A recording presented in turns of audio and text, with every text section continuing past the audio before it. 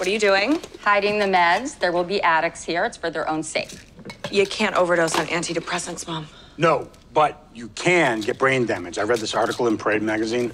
Oh, that poor woman. It's going to be a beautiful, wonderful evening. I promise. That's right, because I trimmed all the rose bushes and filled the gopher holes. we are party ready. Yeah, we sure are. I got every single kind of cheese a person could get, and I think it looks looks really beautiful. You guys just need to stay in here. That's all. You just can't. You know, you can say hi to a couple of people, but then mostly just stay inside, right?